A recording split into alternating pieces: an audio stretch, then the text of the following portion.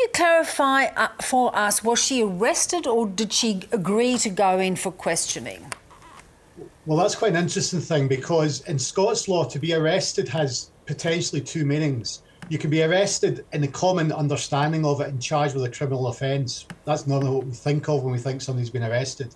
However, in Scotland, you can be arrested on suspicion or in connection with a crime, which really is a limited time you can be held by the cops who can then question you for that amount of time. It's 12 hours in Scotland. Now, because this is a lengthy investigation that's gone on for quite a few months, years even, um, it's possible that somebody they could contact someone and say, We'd like to interview you, and you could arrange the time that you go in. However, you still are under arrest when you go in. So uh, with all the, the, procedures that that has. Now that is really interesting. Okay, so we know she's gone in because they've been investigating what they believe has been the mishandling of funds. Why did they feel she might be key to this investigation? Well, we have to be a bit careful because we don't know exactly what the charge is. And in Scotland, we've got this the contempt of court laws, which don't allow uh, detail on the charges yet because nobody's been charged with anything. But we do know it's, as you've said, investigating finances. Now, within the SNP, the key people that ran the SNP was um, Nicola Sturgeon's husband, uh, Peter Murrell, who also was arrested in similar context a few months ago, the treasurer, who was arrested in similar contexts, and Nicola Sturgeon, who was the leader of the SNP. So, in a sense, there was a logic here when you're looking at the key people involved in the party, if it's to do with the finances of the party, which the police have revealed that is the that is the basis of the investigation. Mm. So she's now subject to legal processes that her government, in fact, introduced. So where do you think this case could yeah. go? Yeah, another interesting thing about the, the, the two ideas of arrest which I spoke about, that was introduced under Nicola Sturgeon as First Minister. So she's actually introduced the law which she's now subject to, yeah. which I suppose is as it should be if we want all politicians to be subject to the same process.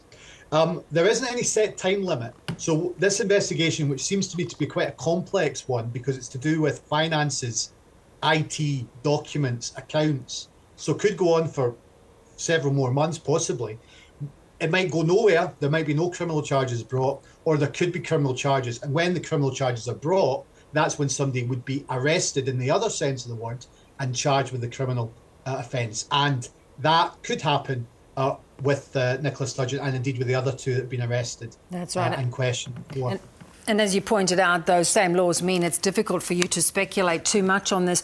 You know, she's come out and said this was her worst nightmare, that she is innocent. Um, I guess that's what yeah. you might have expected her to say. It is, and, and people are arrested normally say that. They don't normally get press coverage to say they're innocent after they've been arrested. But I think that shows you the, the precise and different nature of a First Minister being arrested. Um, the contempt of court laws, which you referred to, are quite strict. But if you look at the media over here, even social media, dip your toe into that, your hair will curl because people are making allegations and suggestions which are way beyond uh, the legality of it. Contempt of court means you can't speculate on guilt or innocence, and even you can't speculate on what the criminal charge will be because we don't know other than the broad definition of the finances of the SNP. Yeah. Oh, the First Minister has been urged to suspend her. Is that likely to happen? Again, that's that's separate from law to an extent. I doubt it, given the uh, the strength of her statement, which the press have ran and you mentioned in terms of her declaring her innocence.